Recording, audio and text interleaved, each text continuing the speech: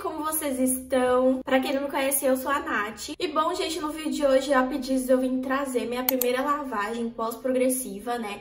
Quem viu meu vlog, eu fiquei super animada que eu alisei meu cabelo. E só quem é alisada, né, sabe que quando a gente tá com a raiz grande, a gente faz o alisamento, a gente fica toda, toda feliz com a autoestima lá em cima, né? Gente, eu vim trazer a primeira lavagem aqui com vocês. Na verdade, eu já meio que lavei meu cabelo lá no salão, porque elas fazem todo o processo de alisamento, como passar o produto, chapinha, secador, essas coisas. E depois, no final, quando você já tá indo embora, elas vão e lavam seu cabelo, pra mostrar que realmente você saiu do salão com o cabelo liso. Vamos começar com o pré-shampoo, né? É muito importante. Pra quem não sabe, o pré-shampoo, ele ajuda as suas pontinhas não ficar ressecada, né, contra o shampoo. Hoje eu vou usar esse escala aqui, ele é 12 em 1. Vou falar pra vocês o que tem de benefício nele. Ele tem óleo de abacate, óleo de patuá, óleo de argan, cerâmidas vegetal, Pro B5, vitamina E, murumuru, cacau, proteína de arroz, proteína de trigo e açúcar. Ou seja, gente, vou usar só ele mesmo, vou nem colocar mais nada nesse pré-shampoo porque já tem um monte de coisa. Então, o pré-shampoo é basicamente para isso, pro shampoo na hora que você lavar, proteger os seus fios, tá bom? Eu vou dividir meu cabelo mecha por mecha.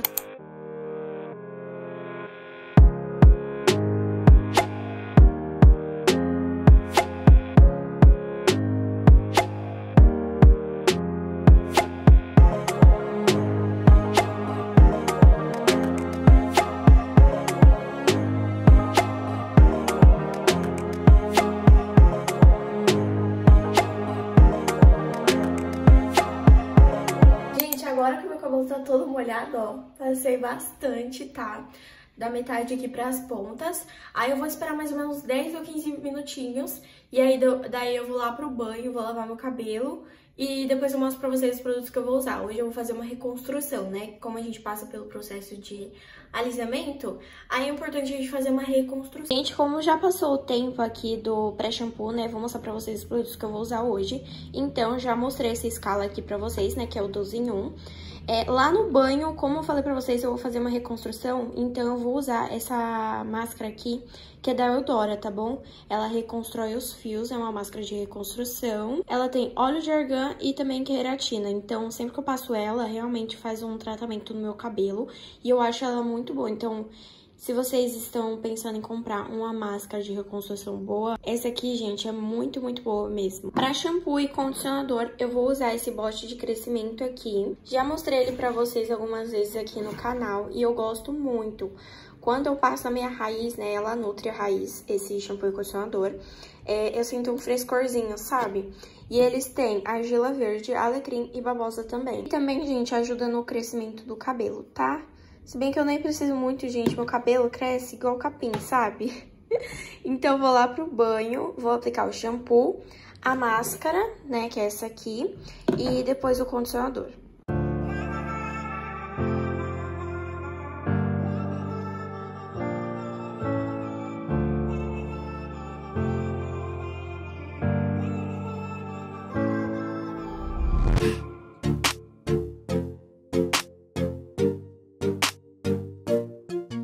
Bom, gente, nessa hora chegou a parte de passar a máscara, né, de reconstrução. E aí eu depois desliguei o chuveiro, né, peguei uma toalha e tirei bem a água do meu cabelo. Separei mecha por mecha, né, do jeitinho que dava ali, tava caindo bastante meu cabelo, por causa que tava muito liso. E aí eu fui separando e luvando mecha por mecha para pegar bem o produto. E, gente, caindo, o que eu digo é que o meu cabelo tava escorregando muito da piranha, tá? Não é que os fios estavam caindo. É que o meu cabelo tava bem liso, então tava difícil prender.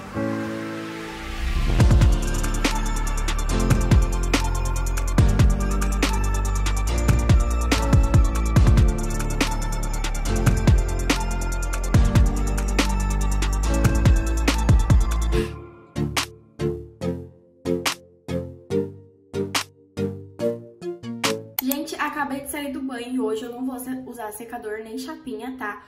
Hoje tá calor, sabe? Tá um tempinho quente, então por isso eu não vou usar secador. Creme aqui, na verdade, ele é um protetor térmico, mas eu vou usar ele só pra pentear o meu cabelo, tá? Nossa, ele sempre espirra. Aí eu vou usar ele pra pentear o meu cabelo, ó. E eu vou usar essa escovinha aqui, sabe? Ela é bem conhecidinha. Provavelmente você que tá assistindo esse vídeo deve ter uma escova igual essa. Eu espero que esteja dando pra ver aí certinho, gente, ó. Que molhado dizem que dá pra ver, né, se tá enrolado ou não. Ó. Agora vou pentear ele aqui do outro lado também. Vou ver se eu viro de costas mostrar aqui atrás pra vocês. Olha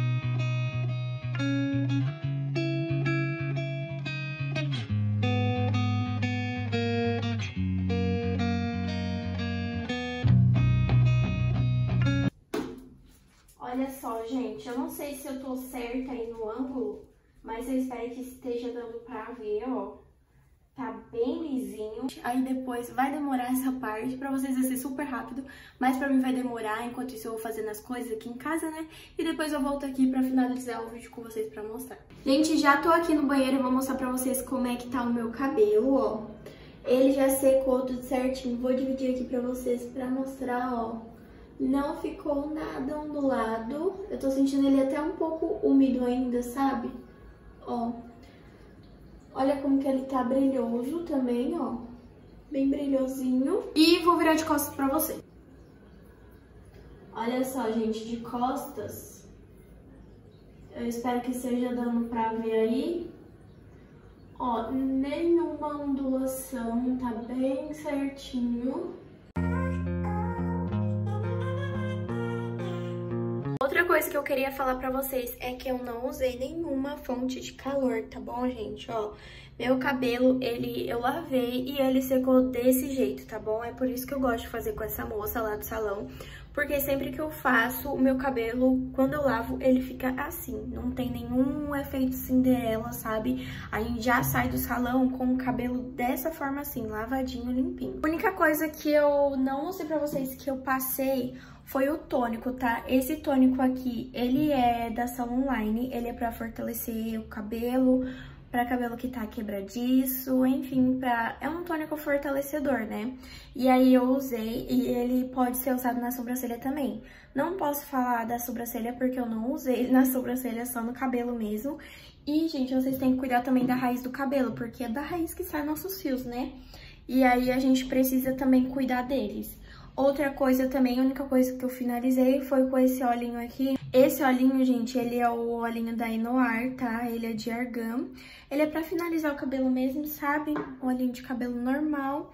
Aí eu só passei nas pontinhas, aqui um pouquinho aqui em cima. E pronto, sabe? Pra tirar um pouquinho do frizz. E só isso, gente. Então, como vocês podem ver, né? Tô feliz da vida, porque o cabelo, ele realmente ficou liso. Na verdade, eu vi isso já no salão, quando eu vou, quando eu saí de lá, né? Como eu falei pra vocês, elas fazem todo o passo a passo do alisamento. E depois, pra não sair de lá com o efeito Cinderela, que no caso é você sair de lá e aí depois você toma uma surpresa em casa. Depois é horrível, eu já fui em salão assim que você fica com o produto na cabeça e o cheiro é muito ruim. O cheiro é muito ruim e aí você lava o cabelo e aí quando você lava você vê que realmente não alisou. É horrível, gente. Então, lá nesse salão que eu vou, não tem isso, sabe? Elas já lavam seu cabelo pra mostrar como que ficou, tá?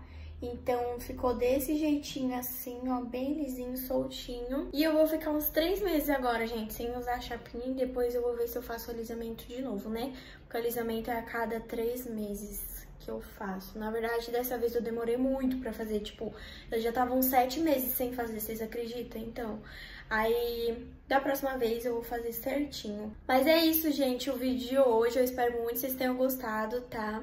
Não se esqueça de deixar seu like, seu comentário e de se inscrever aqui no canal. E lembrando que a gente tá com uma semana de vídeos, tá bom? Então não perca nenhum vídeo desse mês de julho, que tá incrível. É isso, um beijo e até o próximo vídeo.